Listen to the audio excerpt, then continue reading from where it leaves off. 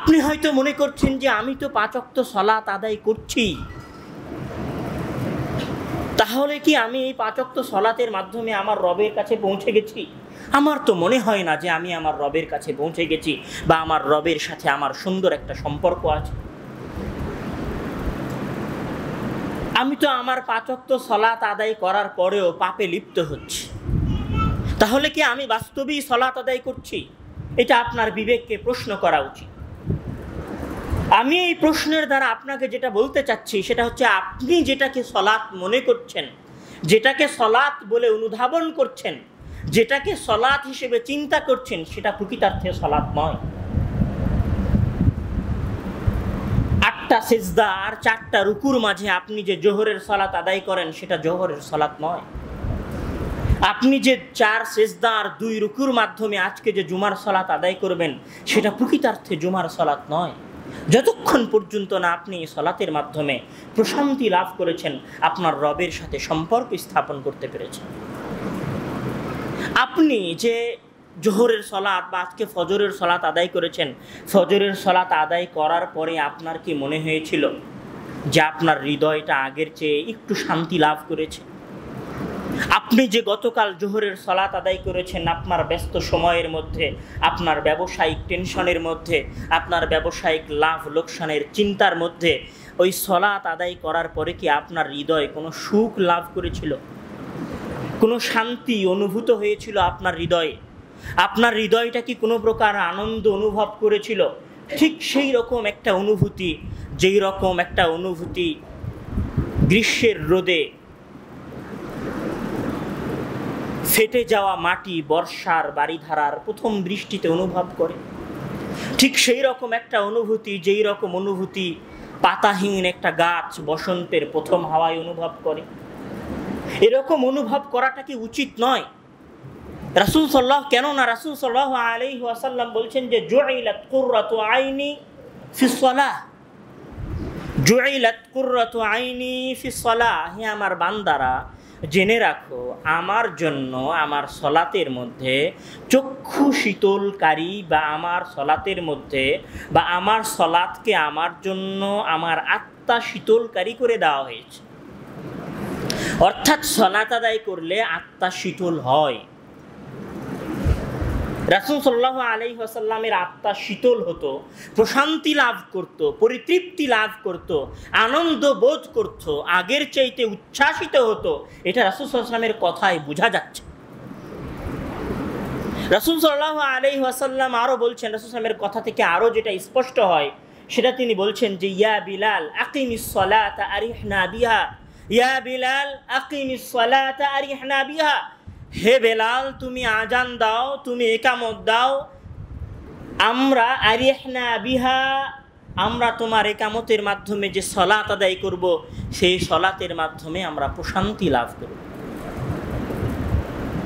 মানে সাহাবাই কেরাম সলাতের মাধ্যমে প্রশান্তি লাভ করতেন। আর একটু সহজ করে যদি আমি বলতে চাই, সেটা হচ্ছে আমাদের সবার কাছেই পরিচিত। সাহাবাই কেরামের আমল সম্পর্কে, যে তাদের মধ্যে এরকম অনেক সাহাবি ছিলেন যারা রাতে তাহাজুদের সলাত আদায় করতেন। এরকম অনেক রেওয়ায়ত আমাদের সাথে ইতিপূর্বে বিভিন্ন জুমার খুদ্বায় আলেমোলামারা বর্ণনা করেছেন যে তাদের সলাতের কারণে তাদের পা ফুলে যেত। তারা দীর্ঘ সময় সলাত আদায় করতেন। যেরকম একটা কথা আপনারা সুরা কাহাফের ক্ষেত্রেও শুনেছেন। একটা মানুষ চল্লিশ পঞ্চাশ ডিগ্রির প্রখর তাপমাত্রার নিচে নিজের রুটি রুটি রুটি রুজির ব্যবস্থা করার পরে ওই রকম ক্লান্ত শরীরে দিনে এবং রাতে পাচক্ত সলাৎ সুন্নাতে মোয়াক্কাদার সাথে আদায় করে যখন ক্লান্ত শরীর নিয়ে বিছানায় নিদ্রা যাচ্ছেন, নিদ্রায় শয়িত হচ্ছেন সেই নিদ্রায় শয়িত হওয়ার পরে, আরামের সেই ঘুমের পরে, মধ্যরাত্রিতে আবার তাহাজ্জুদের জন্য উঠে আট আর তিনে এক রাকাত তাহাজ্জুদের সলাত আদায় করতেন। আপনি কি মনে করেন, যদি তারা সলাতে শান্তি না লাভ করত, তাহলে এমনি এইভাবে সলাত আদায় করত?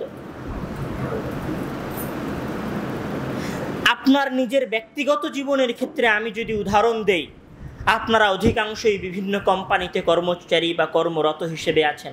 আপনি যখন আপনার ব্যাংকে কর্মরত থাকেন, কর্মচারী হিসেবে থাকেন, তখন প্রতি এক ঘন্টায়, প্রতি দেড় ঘন্টায় আপনার শরীর মোচড় দেওয়া লাগে। আপনার ভেতরে একটা ক্লান্তি বোধ আসে, বিরক্তি আসে।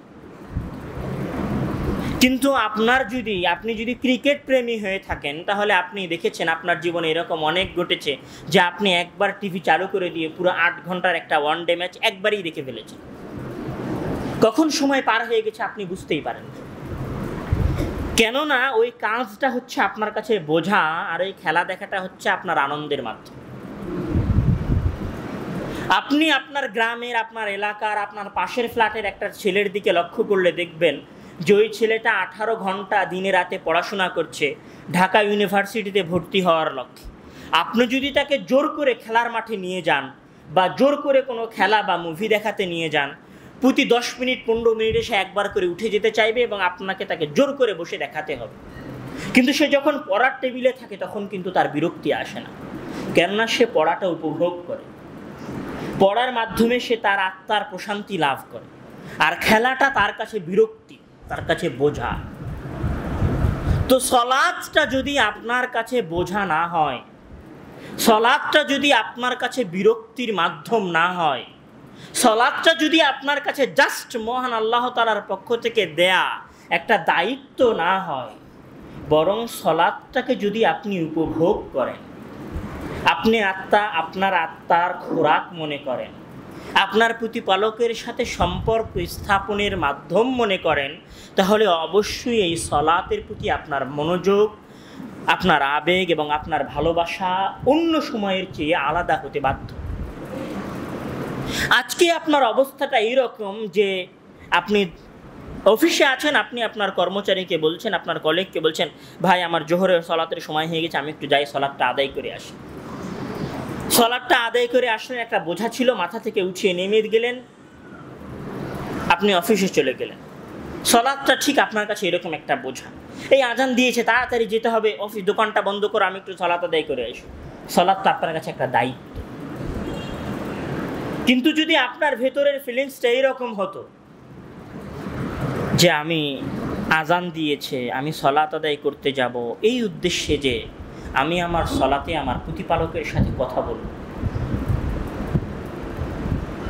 আমি আমার সলাতে আমার মহান রবের সাথে কিছু আমার ভেতরের কিছু বাসনার কথা, আমার আত্মার কিছু কামনার কথা, আমার জীবনের কিছু আকাঙ্ক্ষার কথা, আমার কিছু পাপ পঙ্কিলতার কথা, আমার কিছু অসহায়ত্বের কথা, আমার কিছু আবেগের কথা, আমার কিছু ভালোবাসার কথা আমি আমার প্রতিপালকের কাছে খুলে দিয়ে আসব। আমার প্রতিপালকের কাছে বলে আসব। আপনি কি কখনো এই ফিলিংসের সাথে, এই অনুভূতির সাথে, এই আবেগের সাথে আপনার প্রতিপালকের সামনে দাঁড়িয়েছেন?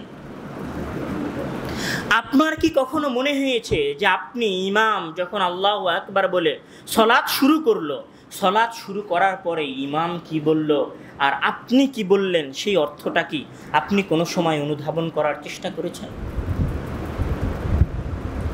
ইমাম যখন আল্লাহ আকবার বলে সলাৎ শুরু করে ফেলল সলাৎ শুরু করার পরে আপনাদের যেটা পরিচিত দোয়া সবাই জানেন আল্লাহ বাইনি ওয়া বাইনা খতায়া كما بعدت بين المشرق والمغرب اللهم نقني من الخطايا كما ينقى الثوب الأبيض من الدنس اللهم اغسل خطاياي بالماء والثلج والبرد এই দোয়া তো আপনাদের অনেকেরই মুখস্থ আছে অনেকের জানা আছে পাঁচ অক্ত সলাতে পড়েন।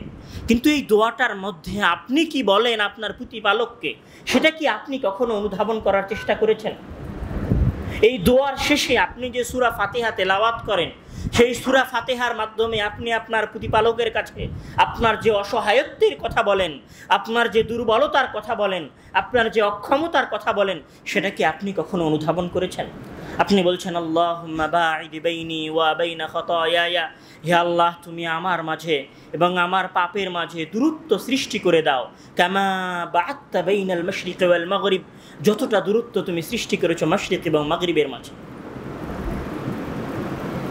اللهم نقني من الخطايا كما ينقى الثوب الابيض من الدنس হে আল্লাহ তুমি আমাকে আমার পাপ থেকে মুক্ত করো যেভাবে একটা সাদা কাপড়কে ময়লা থেকে মুক্ত করা হয়। গসিল খতায়ায়া বিল মাই ওয়াস-সালজি বারাদ। হে আল্লাহ, তুমি আমার পাপকে ধুয়ে দাও ঠান্ডা পানি এবং বরফের মাধ্যমে।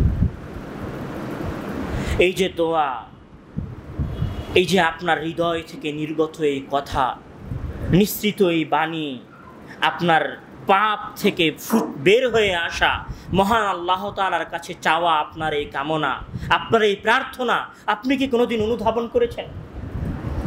এই প্রার্থনার পরে আপনি যে বলছেন, আলহামদুলিল্লাহ রব্বিল আলমিন প্রশংসা বিশ্ব জগতের প্রতিপালকের জন্য আর রহমান রহিম যিনি পরম করুণাময় ও দয়ালু, মালিক ইয়ৌমিদ্দিন যিনি বিচার দিবসের মালিক ইয়া খেনা বুধু ও ইয়া খানাস্তাইন আমরা শুধুমাত্র আপনারও ইবাদত করি।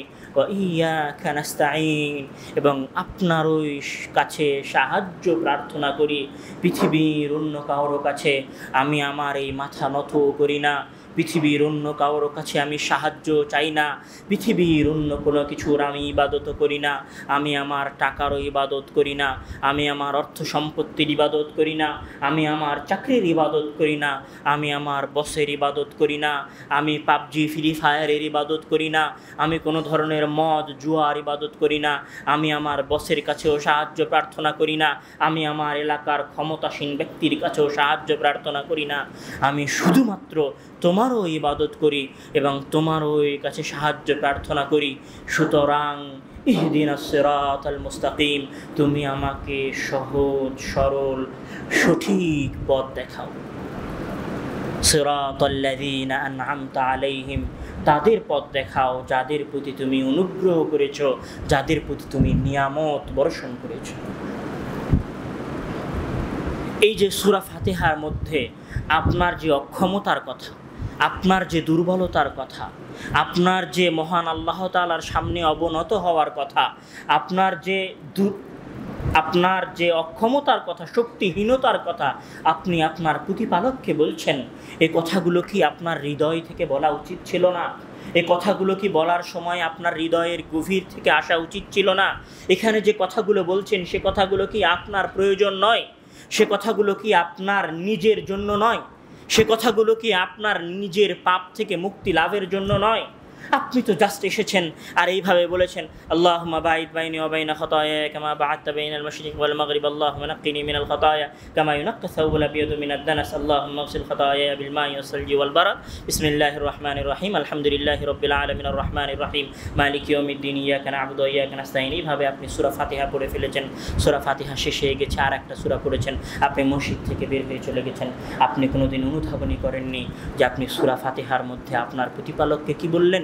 আর সলাতের শুরুতে ওই সানার মধ্যে আপনি আপনার প্রতিপালককে কী বলবেন এটা বোঝেননি বলেই কিন্তু সলাৎ শেষে আবার ইমাম সাহেবকে আপনাকে বলতে হয় যে, ইমাম সাহেব, আপনি একটু দোয়া করেন।